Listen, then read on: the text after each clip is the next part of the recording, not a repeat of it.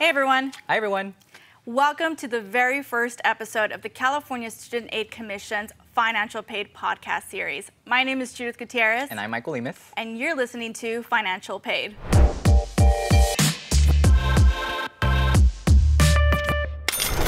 We know at the California Student Aid Commission, or CSAC for short, that it shouldn't cost you an arm and a leg to pursue a higher education or post-secondary education in the state of California. So grab a cup of coffee, grab your favorite beverage, take a seat, and I hope you enjoy the series as much as we are enjoying making it. You know, I'm actually really excited for this. How are you feeling? I'm feeling pretty good. It's been a long time coming. I know we've been talking about launching a podcast for what seems like years, and yes. so I'm definitely excited to be here. No, definitely. Well, Maybe, you know, I mentioned the California Student Aid Commission, and we'll refer to it as CSAC for short. Yes. We might flip-flop around the episode because I know I tend to do that. I'll speak for myself. But maybe we can, you know, for our listeners and viewers, talk a little, a little bit about what is the California Student Aid Commission? That's a great question. And since our audience tends to be high school students and parents, I can tell yes. you that when I was a high school student, I had no idea what the heck CSAC was. As a matter of fact, when I got to college, I didn't know what CSAC was. And so mm -hmm. the fact that I didn't know and I now get to work for the commission is actually a really cool opportunity here to talk to our guests and tell them about it. So the commission, we like to call it CSAC because we like to use a lot of acronyms here. Yes. so it's also way easier to say. So CSAC actually started off in 1955, so mm -hmm. way back when, many decades ago. And basically, from the beginning, it's always been in charge of actually giving out financial aid to students. And mm -hmm. so mm-hmm over the time, it developed into the California Student Aid Commission, and as it states in the title, there is a commission, which means that there's a group of people. Mm -hmm. A lot of them are actually appointed by the governor that make up this organization. So there's about 15 commissioners, there's an executive director, and a whole bunch of staff like ourselves that actually put in the day-to-day -day work to make sure that we're getting out that financial aid to students and their families. Definitely. And I mean, for the students and families listening to us, it comes down to, you know, we don't want to bore you with all the yes. nitty gritty details of what the agency is made up of, what the commission is made up of. But we do constantly hear the question to your point, Michael, yeah. is, you know, students applying for college or vocational school or receiving any sort of financial aid for a post-secondary education. Mm -hmm when they log into their colleges or universities portal, yeah. they'll notice maybe some sort of aid that came mm -hmm. in. Um, they'll notice kind of just like their schedules and all that fun stuff. I'm probably dating myself because it's been a while since I've logged into my college portal. But, you know, there's always been that question of, well, where is this money coming from? Mm -hmm. You know, who yes. is CSAC? Is this just coming from the state, which it is in part, but yes. no one's really familiar with who is behind the scenes and putting in the work to ensure that this money is making its way to students and families. Absolutely, yeah. And I think to your point, we definitely don't want to bore you with all the little details. So what I will say is that it's as simple as this. So every state gets a budget, right? And so here in yes. California, we actually have a budget that allows us to have this financial aid and to actually give it out to students. So Every mm-hmm. year, we're actually allotted a certain amount of money that we actually get to give out to the students themselves. And so to your point, I also don't want to date myself because it's been a long time since I've been in college. But it is important that people actually know what this actually looks like, right? Because when you actually apply for financial aid, when you get that award letter, all that stuff is really confusing at times for people mm -hmm. to mm-hmm. understand. I know that when I went through it, I was really, really lost throughout the whole process. And that's why it's so important for us to be talking about this. So when it comes to CSAC, as far as just understanding from a very high level how it all works, the state gives us money, we get to give it to the students and their families so they can actually access but also afford their post-secondary education. So like you said, it could be a college, university, or a vocational school too. Yeah, and Michael, do we have to pay these grants back, this money that we're offering mm -hmm. students? Great question. No, so if you ever hear grant or scholarship, you don't actually have to pay that money back. And I would also say, be careful if anyone's asking you, like, hey, yes. mm -hmm. do you mm-hmm. want to apply for financial aid? You just got to pay this fee. No, it's absolutely yeah. free. So that's really, really important to discuss because unfortunately there are scammers out there, right? And we want to help people avoid those, those folks um, and make sure that they access financial aid. So grants, scholarships, all of that is completely free.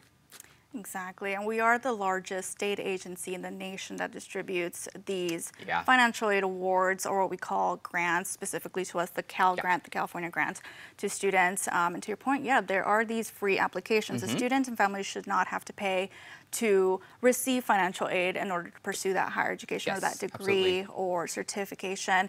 And so those two applications that we, or you know, the applications that we talk about and, and encourage students and families to apply to are the FAFSA application, yes. which yes. is most heard of. Mm -hmm. It's the free application for federal student yep. aid. Um, and that one is specific to the students who are permanent residents yes. or U.S. citizens. They yeah. receive federal aid if eligible, um, as well as any state aid, mm -hmm. institutional aid. And the second application for students to see their, if they're eligible for yes. financial aid would be the California DREAM Act application. Yes. And so those two big applications, and the California DREAM Act application, we do refer to it as CADAA. Yes, another acronym. Another acronym. uh, but you, you, might hear us say CADAA throughout yes. the series. And the CADAA application, which isn't really talked about mm -hmm. as mm-hmm. often it's as we'd like, very yeah. unfortunate, it is the application that California provides for yeah. our undocumented students yep. here in California, regardless of DACA status. Mm -hmm. So, you know, there's so many amazing resources available. We try to make sure that students and families are not only accessing education or post-secondary yeah. education, but are affording it yes. as they go. You mentioned it there. So there's a difference between just having access to education mm -hmm. and actually affording it, especially in a state like California where we know housing's expensive, food is expensive. There's yeah. so many things that actually contribute to whether or not a student can actually afford education. And it's really important that we talk about also how much money we actually get. Like in California, the California mm -hmm. Student Aid Commission is actually awarded or given about $4 billion to actually manage. And so we have lots of programs, the Cal Grant program, the Middle Class Scholarship, we have the Chafee Grant for Foster Youth. Mm -hmm. We have a lot of money and yeah, we're, we're trying fortunate. to give it away. yeah, we're trying to give it away. And you know, Just take it. a lot of people actually don't use some of that money. The no, money goes unused. It's left on the table. Yes, and that is something that we're trying to avoid, especially in a year like this where we're still living through the pandemic. We want to get yeah. people to access that aid, and we want people to know that CSAC, being the Student Aid Commission, that we're here to help and that we can actually help them access that aid and afford their education.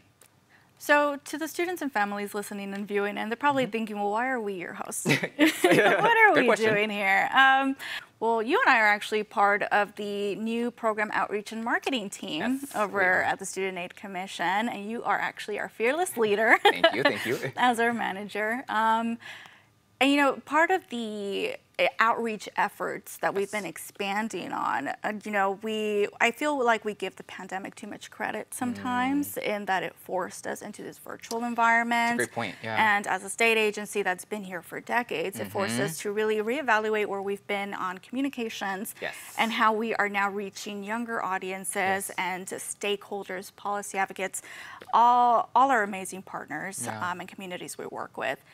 And so part of these outreach efforts uh, through our team, which is mm -hmm. probably why we're both here, yes. obviously, is to now create this podcast series where we are able to expand on the social media work we've done, expand on the physical yes. communications like postcards and things we send mm -hmm, out to mm -hmm. California students, and just have, a, you know, something people can tune into and refer back to yes. for any information regarding uh, programs, applications, events even. Yeah. You know, we have our statewide cash for college workshops.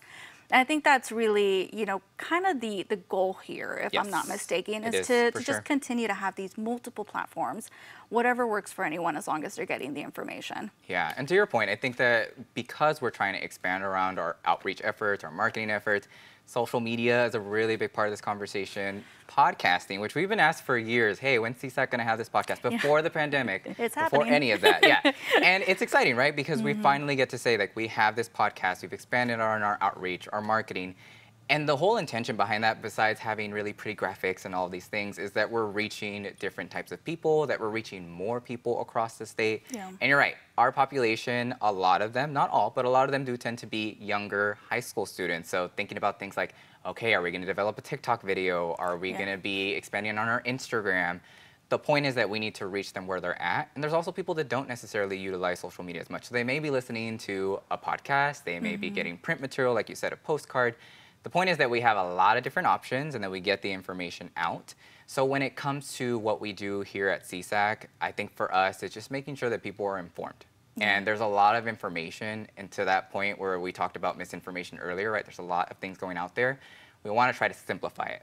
and mm-hmm. not just simplify it, but also have different ways of accessing it. So if you want to listen Yeah. to a podcast, if you want to join us on Instagram, whatever that may be, there's going to be an option for you, and that's what's really, really important is that you can access us in a variety of different ways.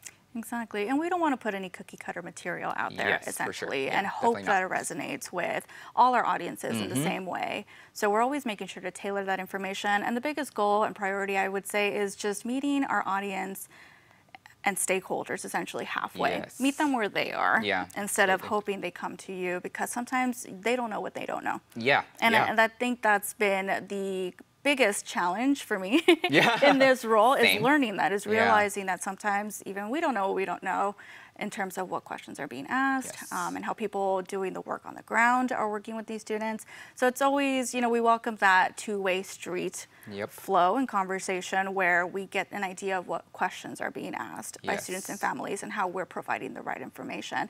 But I know you have a full plate as the lead and manager of the outreach and marketing team, which is a new unit. It is, yeah. About a year old. Yeah. About a year old at CSAC. And, you know, kind of just want to give our, our viewers and listeners an Yeah. idea of what that role is like, what, what's the work. Yeah, well, it is new, as you said. You're a part of our wonderful team as our outreach and marketing coordinator.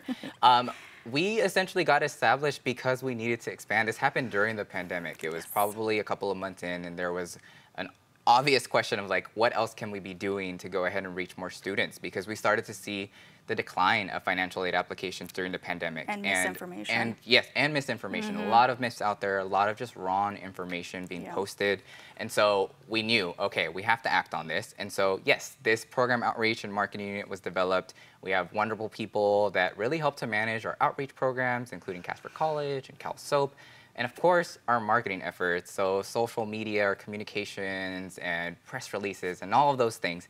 But I think the bigger part of this conversation also is as we expand how we also work across the commission. And so mm-hmm. the commission is the state agency. And so we have over 100 employees that put in such hard work every single day, whether Yeah. they're on the phones, answering emails, they're developing material, they're updating things for the grants. There's so much work that goes on behind the scenes that a lot of people just don't know about.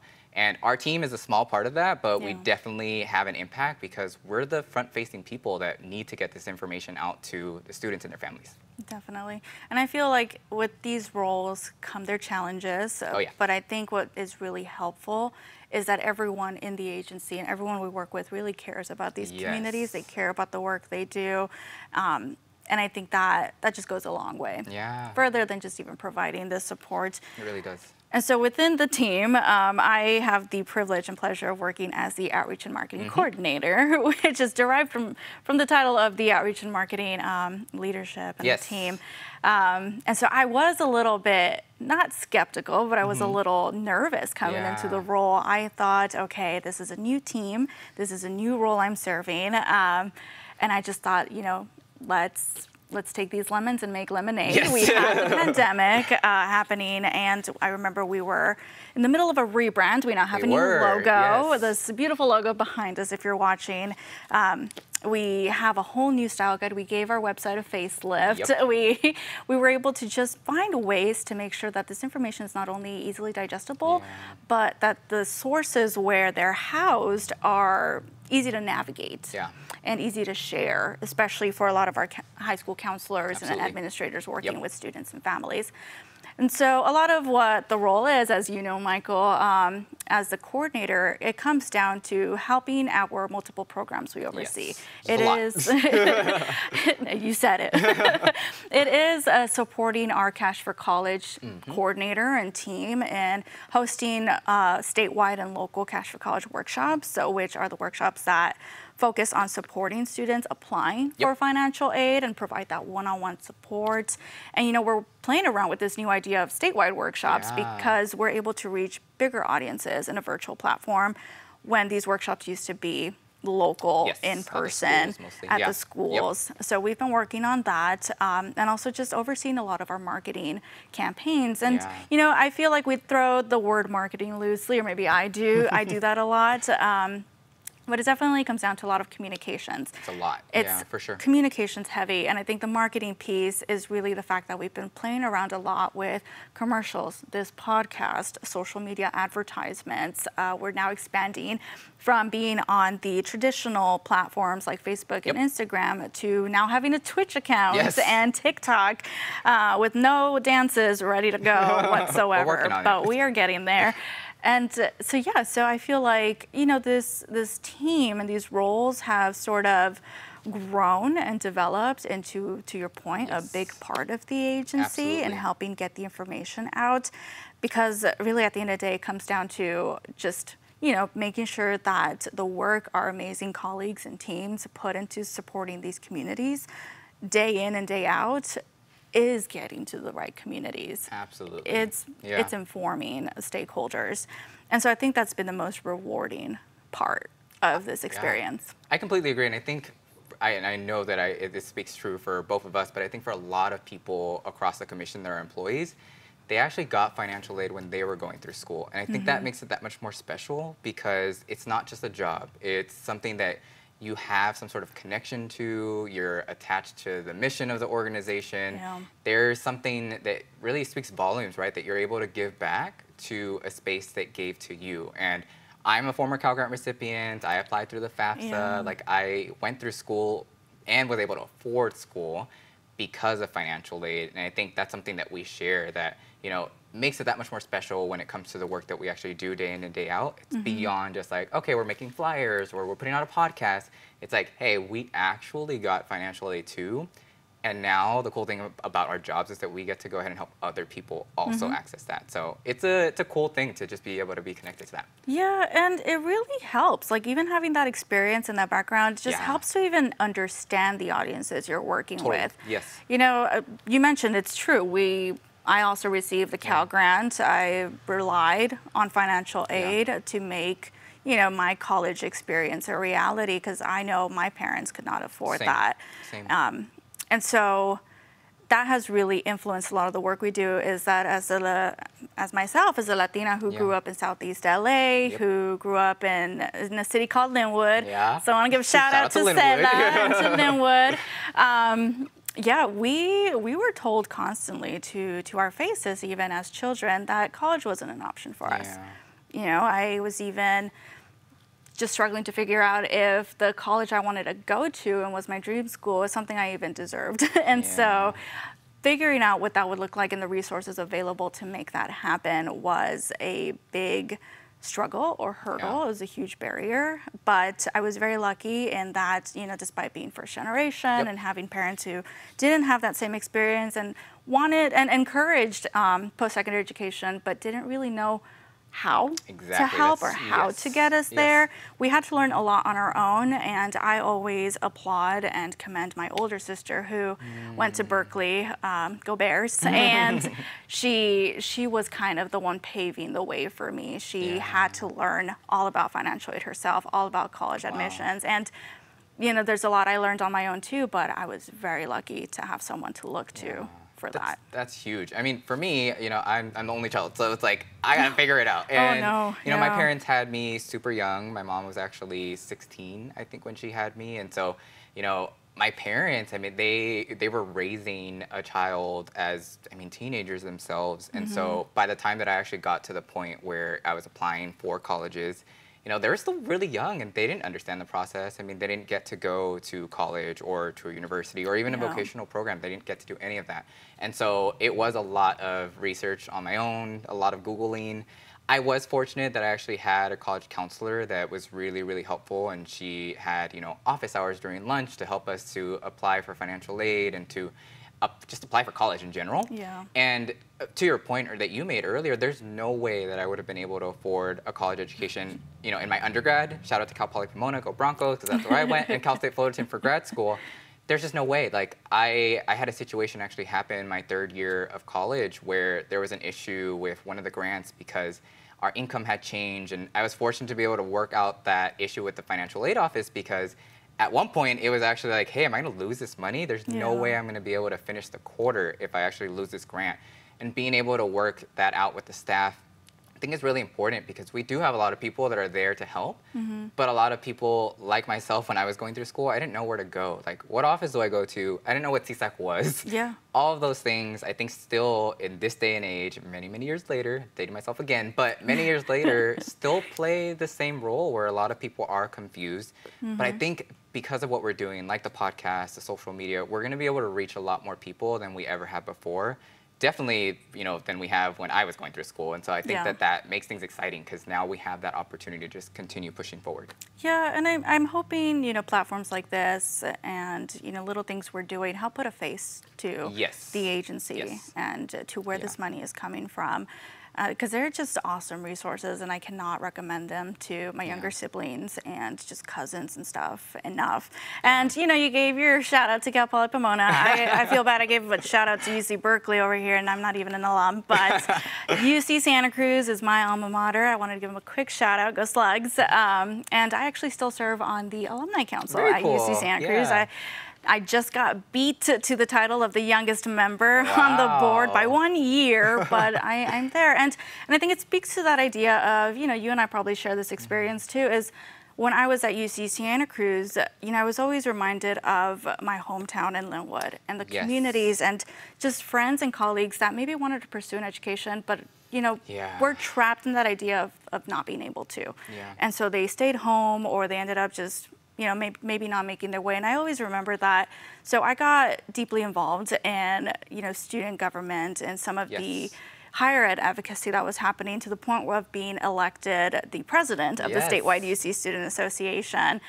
And, you know, with that role came as challenges, but we were able to just push for the accessibility and mm-hmm. affordability mm-hmm, mm-hmm. of a quality education. And I believe yes. that's the mission of UCSA, but it was also a shared mission amongst all institutions across yeah. California. And that work has been able to bleed into the work we're doing now at yep. CSAC, um, you know, that mission, that vision, the educational equity piece of yes. it. Um, and then also you know, it also creates the space for us to work with these student leaders now yeah. and hear them out and hear, you know, these ever-changing student needs as well. And you mentioned briefly earlier that total cost of attendance. Yep.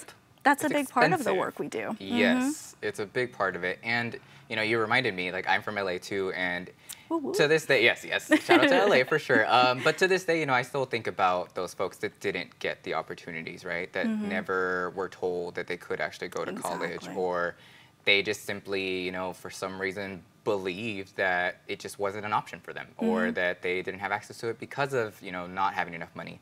And sometimes just not being aware that there is financial aid. And I think that's why it's just so important that we continue to bring it back to that message that California still has money for students. We have that budget that I talked about earlier. We actually have a lot of money here in the state to be able to give out, but people need to apply. The students need to apply, the families need to go ahead and be in the same room and help them in that process. And yeah. so with that, how do people actually apply for this? Because we've been talking about financial aid, we've talked about yeah. applications, like how do they apply?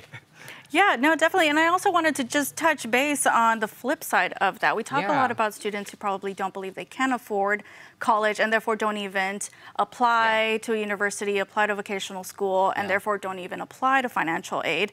But there's also the flip side of families that maybe think they make too much. Yes, actually. To yes, yes, yes. receive any sort of That's aid to go to college. And, you know, we just want to make sure that we were mindful Absolutely. that you shouldn't opt out. Yes. You know, you just, try. just go for it. Yeah. You lose nothing by applying for, to your point, the two applications. Yes. The FAFSA, which is most talked about, mm-hmm. the free application for federal student aid. Yep. And then the second application that California offers is a California DREAM Act application. Yes. So by applying, you don't lose anything. Nope, it's you, free. it's free applications, and you really just get a better sense of what you're eligible for. Yeah. And I'm glad you brought up just the income. That's a really important point because I mentioned this earlier, but I think I want to definitely emphasize this point is that we have a lot of programs. So it's not just the Cal Grant. There's a middle class scholarship. Like that is there's true. legit a middle class scholarship. There's a Chafee grant for foster youth. There's a lot of aid out there beyond what most people know. Mm-hmm. And all it takes is just going to our website or talking to someone like us to get that information because it's all readily available. Yeah. It's just getting to that space, right? Whether it's our social media or a website. So this is our first episode, and we thought it would be fun to include a myth busting segment in each of our episodes. And so for today's myth buster, our myth of the day is Yeah, it's a common one, and it's basically when students think that they're not going to qualify for any aid, so they just don't end up applying. And so that's a huge one that we hear probably day in and day out. Mm-hmm. And what you said earlier really speaks to this. Is just try because you never know. You may be pleasantly surprised. I actually know people that have actually applied and got way more aid that they thought that they would ever be eligible yeah. for, and they were able to pay for all sorts of things. And so there is that that possibility of actually getting that aid, and again, being pleasantly surprised by how much you actually get. Exactly. Like I said earlier, you don't lose anything by just applying. Go for it as our executive director says, go get that money and leave the rest to us. I love that, but it, that is very true. Um, and, you know, I guess just as we mention all the time, the first step is applying, and that's applying for the FAFSA or the California DREAM Act application. Absolutely. And when it comes to the applications, something that I really want to emphasize here is that you are only applying to one yes. over the other. so it's not both of the applications, it's the FAFSA or the CADAA. It doesn't take very long to apply. You can find all the information on our website. You can contact us, and we're happy to go ahead and assist in that process. Well, thank you so much for joining us today, and we hope you'll stay tuned for the rest of the episodes. Again, I'm Judith Gutierrez. And I'm Michael Lemus. And this was Financial Paid. Thanks, everyone. Bye.